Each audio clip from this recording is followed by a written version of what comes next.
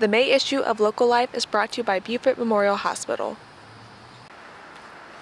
The May issue of Local Life celebrates the colorful cornucopia of low country produce and the locals connected to it.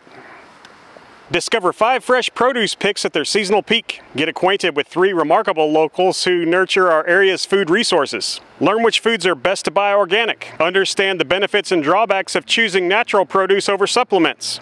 Visit three local farms committed to community through educational programs and sustainable methods. Use our detailed guide for timing the seeding, planting, and harvesting of produce specific to the low country. Dive into South Carolina's rich culinary traditions with a look at its official state produce. Find creative ways to reuse your leftover produce and reduce waste. Discover which local restaurants are cultivating their own ingredients and partnering with nearby farms. Craft the perfect fresh pressed juice with our step-by-step -step guide. Learn which fruits and vegetables are safe and enjoyable for your dog Fresh recipes, garden themed decor, juicy cocktails.